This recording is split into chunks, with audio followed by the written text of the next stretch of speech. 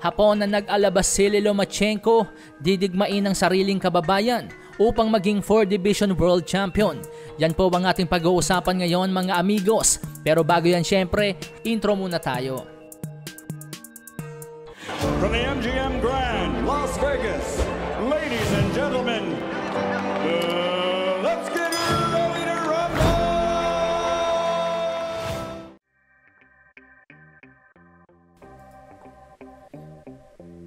Year 2015, gumawa nga po ng record itong si Kosei Tanaka na nag-alabas si Lomachenko nang manalo ito ng WBO World Minimum Weight title sa kanyang ikalimang professional fight. Yes mga amigos, limang laban pa lamang at nagkampyon na itong si Kosei Tanaka. Bagay na nagawa rin ni Lomachenko sa kanyang ikatlong professional fight. At matapos nga pong patulugin ang ating kababayan na si Victorio Saludar sa unang depensa ni Tanaka, agad itong umakyat ng junior flyweight. At sa kanyang ikalawang laban nga po sa timbang ng junior flyweight mga amigos, muli na namang nagkampyon si Kosei Tanaka nang talunin niya via TKO ang Mexicanong si Moises Puentes para sa bakanting WBO World Junior Flyweight title. 左からの腹へのパンチがあったんでしょうね。ですね、えラシエルバトレーナーはここまで一番直結が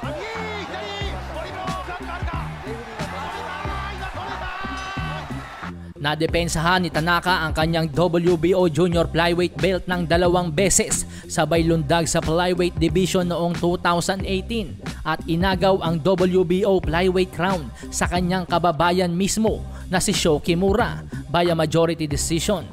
At matapos depensahan ng tatlong beses ang kanyang WBO World Flyweight crown, heto na naman po si Kosei Tanaka, mga agaw na naman ng corona. This time para sa kanyang ikaapat na dibisyon at yan nga po ay ang Junior Bantamweight.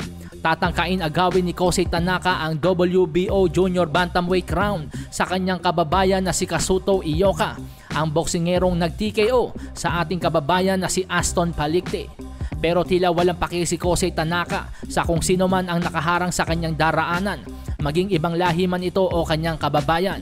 Target ngayon ni Kosei Tanaka ang maging 4 Division World Champion na kapag kanyang nagawa ay malalagpasan niya si Naoya Inoue na kasalukuyang 3 Division World Champion pa lamang.